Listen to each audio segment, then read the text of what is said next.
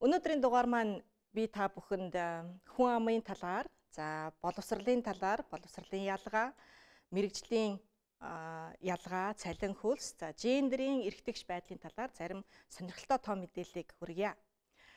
Монгол Улсын хүн ам 2018 оны хувьд 3.2 сая хүрсэн байгаа. За тэгэхээр хүүсийн тэнцвэртэй байдал нь эмэгтэй 1 сая 646 мянга, эрэгтэй 1 сая 591 мянга буюу манай Хуамын 50.8% нь эмэгтэйчүүд харин 49.2% нь эрэгтэйчүүд байна.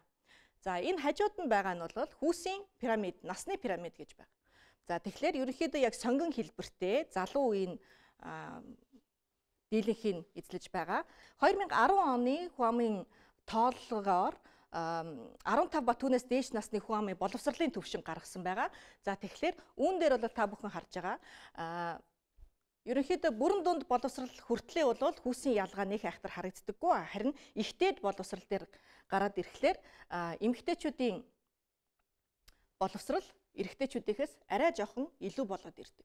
Жишээлбэл дипломын болон бакалаврын дээд боловсрал дээр за эмэгтэйчүүд 22.5%, за эрэгтэйчүүд 16.5% гих мэтчлэн ялгаанууд байна. За энэ дээр бол манай уламжлалт юу гэдгийг октоудаа илүү сайн сурах чи, илүү ихтэй сайн боловсрал олгочихъя.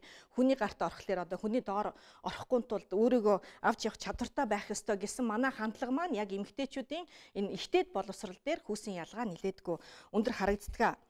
Дараагийн слайдыг За дараагийн слайдн дээр энэ бол 2017 оны байдлаар гаргасан байгаа. 2017 онд ихтэй сургуульд суралцж байгаа одоо коллежид бас суралцж байгаа хүмүүсийг хүүсээр нь гаргасан байна.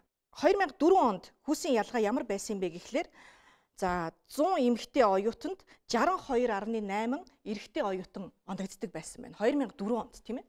За энэ маань сүүлийн жилүүдэд ерөнхийдөө өөрчлөгдөж жохон одоо сайжирсан байгаа 100 эмэгтэйд 2017 оны хувьд 72.3 эрэгтэй оюутан бас одоо оногдож байгаа юм байна.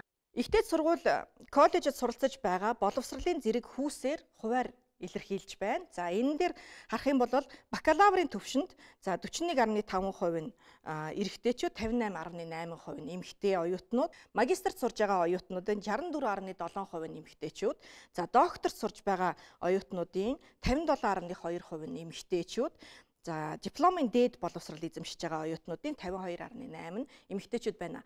Коллежид суралцж байгаа оюутнуудын эмэгтэйчүүдийн одоо эмэгтэй оюутнуудын хүүсэнд давмгаалж байна гэдгийг бол эдгээр статистикээс харж болох юм аа. За дараагийн слайд нь. Тэгвэл охтууд илүү сургалтандаа ч гэсэн илүү одоо өндөр оноонууд авдаг байсан юм байна гэдгийг манай Icon дээр бас хамгийн сүүлд нэг мэдээ гарсан та бүхэн мэдж байгаа тийм ээ. Icon дээр Ешийн шалгалт өгсөн хүүхдүүдийн оноог хүүсээр нь жагсаагаад үзэхэд охтууд газар зүй болон түүхээс бусад бүх хичээлдэр хөвгүүдээсээ илүү өндөр оноо авсан байна. За тэгвэл манай охтууд эмэгтэйчүүд илүү сайн сурдаг, илүү их одоо ихтэйд сургууль ихтэйд боловсрал эзэмшдэг юм бол ажил мэрэгжил дээр гараад энэ маань өөрөө ямар байдаг юм бэ гэдгийг дараагийн слайдуудаар харцгаая. За гендер эрхтгч байдлыг хангах тухай хууль манай Монгол улсад байдаг. За үүнд болохоор томилогдох төрийн улс төрийн албан тушаалтны дотор нь аль нэг хүүсийн төлөөлөл засгийн газар аймаг нийслэлд 15%-аас, дүүрэгт 20%-аас, суманд 25%-аас, хороонд 30%-аас доошгүй байх гэх мэтчлэн хуультай байна.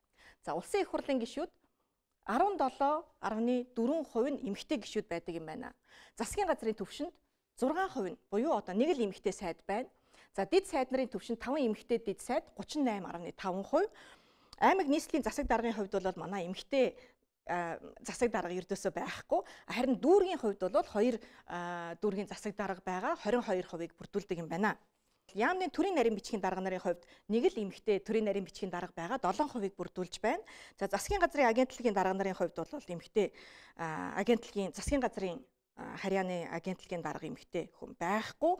За яамдын газар хилцсэн албатын дарга нар гих мэтчлэн ингээд 31% доошлох тусмаа эмэгтэйчүүдийн гүйцэтгэх шатанд эмэгтэйчүүдийн хувь нь нэмэгддэг юм байна. Манай Монгол улсын төрийн албан хаагчдыг харуулж байна тийм ээ. За 2018 оны хувьд манай Монгол улсад 192 мянган төрийн албан хаагч байна. За тэгвэл улс төрийн төрийн улс төрийн албанд 76.6% нь эрэгтэй төрийн албан хаагчд байна. За төрийн захиргааны албан дээр 58.9% нь эмэгтэй. Албан хаагчид за төрийн тусгай албан дээр мэдээж 73.1% нь эрэгтэй төрийн албан хаагчид. За төрийн үйлчилгээний албан дээр 70.3% нь эмэгтэй төрийн албан хаагчид байгаа юм байна. Тэгэхээр илүүтэй нөгөө төрийн улс төрийн албан дээр дийлэнх нь эрэгтэйчүүд байгаа бол гүйцэтгэх албан дээр эмч багш жишээлбэл тийм ээ. За үүнд бол дийлэнх нь эмэгтэйчүүд байгаа юм байна. За дараагийнх слайд нь. За гендер эрхтэгч байдлыг хангах тухай хуулийн дээр төрийн үйлчилгээний удирдах албан тушаалтны дотор аль нэг хүүсийн төлөөлөл их давмгай тохиолдолд 40 60 гэсэн харьцааг одоо хадгална гэж заасан байдаг. За тэгвэл манай аймагуудын төрийн үйлчилгээний удирдах албан тушаалтнуудыг эмэгтэйчүүд нь давмгаалсан байдаг юм байна. 70% нь эмэгтэйчүүд бүрдүүлж байна.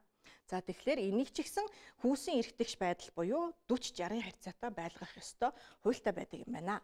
За дараагийн слайдн дээр. За энэ бол манай хувийн хөвшил буюу бизнесийн сектор дээр харж болно. За үйл ажиллагаа явуулж байгаа аж ахуй нэгж байгууллагуудын 36.7% нь эмэгтэй захиралтай байдаг юм байна. За энэ маань өөрөө эргээд бас цалин дээр хүүсийн ялгааг харуулдаг. За мэдээж удирдах албан тушаал болоод өндөр цалинтай ажлууд дээр эрэгтэй хүмүүс давмгай байгаад харин гүйцэтгэх төвшөнд бага цалинтай ажлууд дээр эмэгтэйчүүд давмгаа байхлаар эрэгтэй эмэгтэй хоёр хүүсийн цалингийн ялгаа, цалингийн зөрүүтэй байдал ажиглагддаг. За тэгэхээр дараагийн слайдн дээрээс харахад манай эрэгтэй эмэгтэйчүүдийн дундаж цалингийн ялгаа нь 10% дотроо ингээд байнгын байж байдаг. Энэ маань 16 онд 8.8% та байсан бол 17 онд 10.3% ялгаатай, за 18 онд 9.4% ялгаатай байсан юм байна.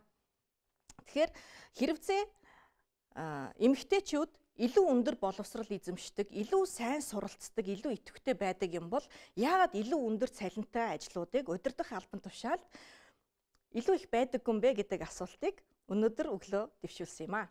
Анхаарал тавьсанд баярлалаа.